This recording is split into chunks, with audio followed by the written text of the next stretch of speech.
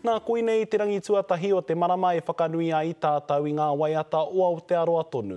E ai ki ōna kaiwhakatairanga, he nui tonu nā kaupapa ka whakahaeretia hei whakanui, hei whakawhanake hoki i ngā waiata o konei.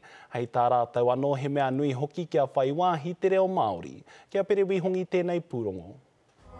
Te marama e whakanui ai ngā waiata o te kāinga.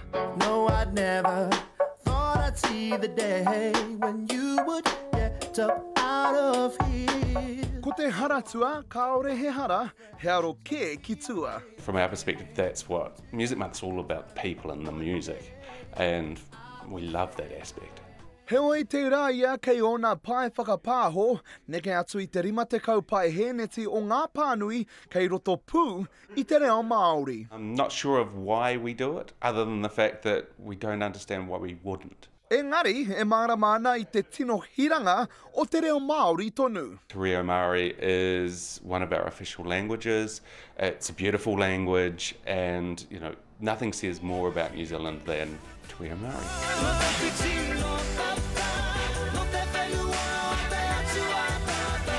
Kāti, he ai ki a Woods neke atu i te whitu rau kaupapa ka whakahaerehia i tēnei marama tonu, mō te kaupapa kē te take. Just lots of those sorts of things that, that sort of celebrate the music of our land, but